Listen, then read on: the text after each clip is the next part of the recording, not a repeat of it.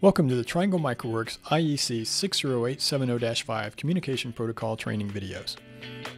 This is the fourth video in the series. In the first three videos, we provided an overview of IEC 60870-5. We looked at the application layer and ASDUs and dug into functionality like polling and controls. In this video, we'll dig into the link layer, the transport layer, and the physical layer. Next section gets into some of the more serious details which can be important, but they may not be important in your application because if you're using the Triangle Microworks source code library, it will handle most of that for you. Now let's take a look at the IEC 60870-5-101 link layer. As I pointed out before, the 101 link layer is different from 104.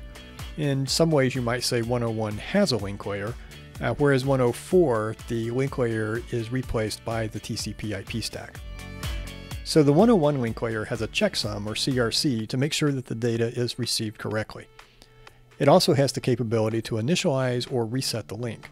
And it has link confirmations to confirm that the primary and secondary stations are up and running. By the way, that primary and secondary refers to both master and outstation, depending on who initializes the message. And that leads us to a discussion of balanced versus unbalanced mode.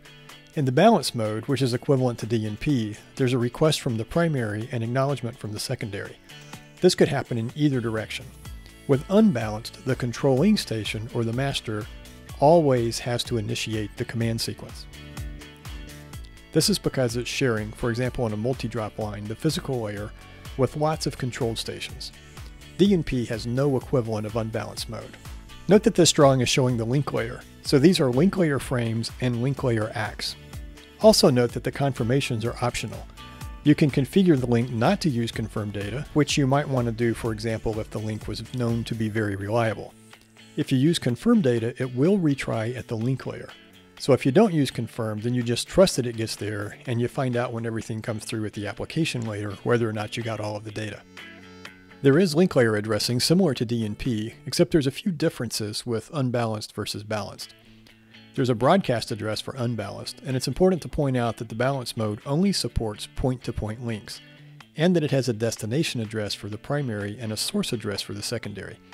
You can configure how many octets to use in the addressing versus DNP3, which always uses two octets. Now let's take a look at the link layer frame. The specs have different formats, so this is the FT 1.2 frame which is used for 101. It's built up with all of the fields that you see here. To start, it identifies what type of frame it is. The frames can be either fixed length, variable length, or single character. And in the next field is the length, so this tells you how many total octets are in the frame. This is really only needed for the variable length frame. And then there's function codes for the link layer services. And then there's the session address, which is the address of the device or the session of the target. Next comes the user data, which is the ASDU and is put inside this LPDU. And finally the checksum and an end octet, which is different for the different frame types. So the control field has several different bits. The first up is the direction bit and a frame count bit. The frame count bit is a very simple sequence number. It just toggles, so it would tell you if you missed a frame. This is a very simple mechanism, and there's no real sequencing. Just kind of, if you will, a one-bit sequence number. The secondary station can also warn that it's about to have a buffer overflow using the DFC bit.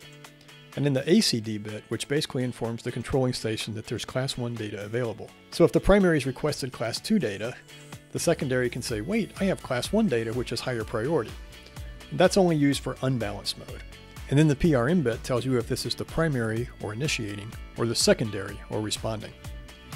And then there are the function codes, which are also included. They basically tell you what type of request or response is being sent. And these are different for balanced versus unbalanced modes. They have different requests and different responses. So that's about it for the 101 link layer. So as we've said before, in 104 you remove the link layer and replace it with the standard TCP stack. 104 adds a header to the 101 ASDU, and this is meant to replace the functionality that you had with the 101 link layer. When you add the header, it becomes an Application Protocol Data Unit, or APDU. And that's what this is. It's the APCI header plus the ASDU, and that equals the APDU. And so the ACPI has this control field. It has all the sequencing and control of starting and stopping transmission. It also has an indication of the three different types. These are sort of like the function codes in 101. They tell you whether they're information frames, supervisory frames, or test frames. Which is the equivalent of the 101 link layer, but they're not called function codes. And they're not exactly the same. But in some degree, you could say they kind of replicate that functionality or they're kind of the equivalent functionality of the function codes in 101. So this essentially allows you to transmit more. Uh, it becomes kind of a data window of things that you can transmit. TCP itself is very reliable and will detect lost or duplicated frames, so you don't have to have that functionality. Um, so instead, this kind of allows you a, a, transmit window. It's true we look for missing sequence numbers, uh, but TCP should have told you that anyway. So as we keep saying, 104 maps to the TCP services. The controlling station is the TCP client, and the controlled station is the TCP server. It uses point-to-point -point mode only, and it defines the standard port as being port 2404. Many installations will allow you to configure a different port, but the default specified in the standard is 2404, just as it's 20,000 for DNP. A large part of the 104 standard talks about this mapping. There's some other differences with the ASDUs and the timestamps and things like that, but this is a big portion. If you read the 101 spec, it doesn't really repeat what's in the 101 spec, it just says what's added. So it adds some type ID, some ASDUs, and it also talks about this mapping to TCP.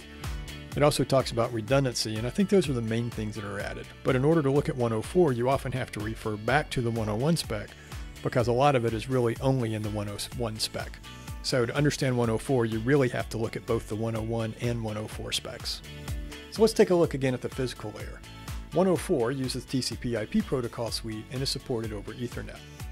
The 101 spec points out a variety of serial standards that can be supported. So that pretty much wraps up all of the layers. In the next video, we'll look at security in IEC 60870-5, and then we'll wrap it all up with a conclusion.